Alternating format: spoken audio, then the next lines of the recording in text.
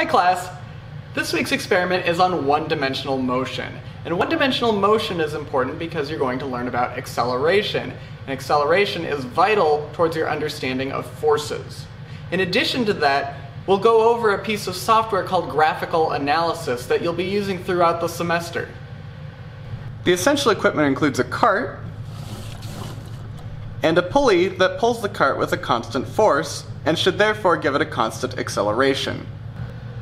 Much of the experiment itself is quite simple. You'll bring the cart back, unlatch it, fire the spark generator, and then let it rip.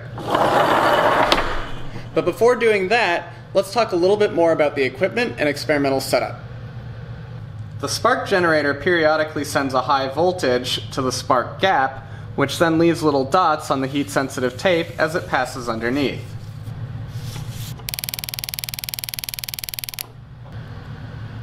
Before turning on the spark generator, make sure that this yellow cable is connected beneath the wooden block.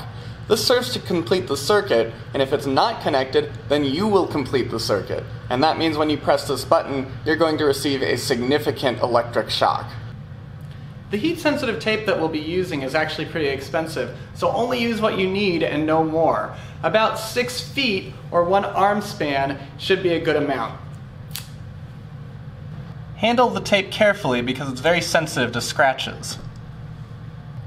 Thread the heat-sensitive tape through the back end of the wooden block, underneath the spark gap, and then out the front end, and finally secure it to the cart with a little piece of painter's tape.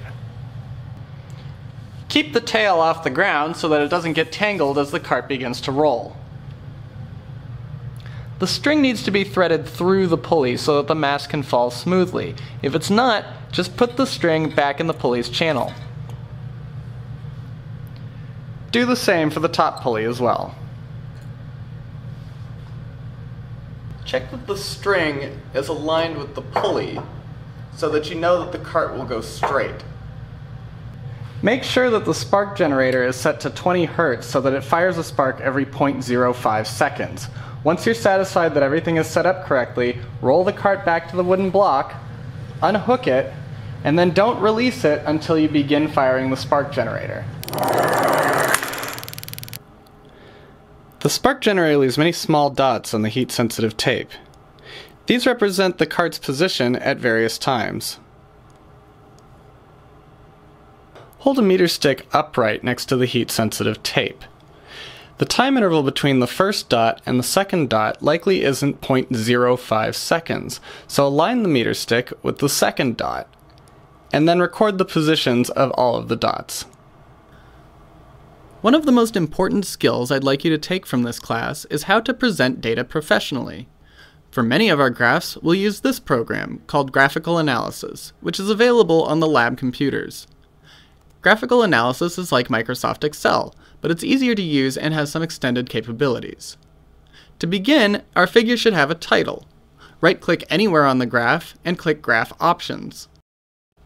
Give your graph a descriptive title, such as Position versus Time of a Cart under Constant Acceleration. Then click Done. Next, right-click anywhere, scroll over Column Options, and select Dataset X. X doesn't mean position, it just refers to the horizontal axis, which in our case should be time. The short name will be t, and the units are seconds. Click Done. Do the same for the vertical axis. Right-click anywhere, scroll over Column Options, and select Dataset Y. Our vertical axis is position, its short name is x, and the units are centimeters. Click Done. You are now ready to enter your data. Click on the cell in the top left corner of the data table and begin entering the data that you took. I'll be working with fake data, so note that your time will be measured in intervals of 0.05 seconds. After completing the table, you will notice that all of your data is scrunched up against the left-hand side of your graph. This looks very unprofessional, so first click the A on the toolbar, which stands for Auto Scale Graph. This looks much better, though you'll notice that the leftmost data point and the rightmost data point are halfway off the side of your graph. To fix this, zoom out, then select your data, right-click, and select Zoom Graph In. Now all of your data is fully within the graph's boundaries. The figure looks much better, but the circles might be a little difficult to see.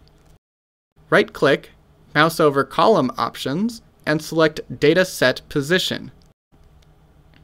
Click the Options tab. Under Style, change Empty Circle to Filled Circle. Click Done. Now our graph just needs a curve fit. Click Analyze in the menu bar and select Curve Fit. The type of curve fit we'd like to use is a quadratic fit, which takes the form at squared plus bt plus c. Select it, click Try Fit, and click OK. Notice that this produces a box with the fitted parameters as well as error estimates. You may wish to change the position of this box so that the graph looks more compact. This is now a good figure and you're ready to turn it in. Print it if you would like, and save it with a descriptive file name, such as 1D motion x versus t. We should also produce graphs for velocity and acceleration. Click the leftmost button on the toolbar to create a new dataset. Repeat most of the steps above, graphing velocity versus time instead. One change we'd like to make is to recolor the markers to distinguish this graph from the position versus time graph right-click anywhere, scroll over Column Options, and select Data Set Velocity. Click the Options tab, change the marker to a filled circle, and pick a new color, such as blue. Click Analyze on the menu bar, and then click Curve Fit. This time, instead of a quadratic fit, we would like to do a linear fit, which takes the form m times t plus b. Click Try Fit, then click OK. As before, you may wish to move the text box to a more aesthetically pleasing part of your graph. Print the graph if you'd like, and then save it with a descriptive file name, such as 1D motion v versus t. We need to repeat these steps one more time for our acceleration graph. Create a new dataset, give it a title, axis labels, and data, then zoom to fit the data within the figure. Once you've done that, we should change the color of these markers to distinguish this graph from your position and velocity graphs. Right-click anywhere, scroll over Column Options, and select Dataset Acceleration. Click the Options tab, change the marker to a filled circle, and pick a new color. I'll choose Hunter Green. Click Done. It's not necessary to do a curve fit for your acceleration versus time graph because you will take the average of your data by hand. Print the graph if you'd like, then save it with a descriptive file name such as 1D motion A versus T. Complete your write-up and attach copies of all three graphs and you are done.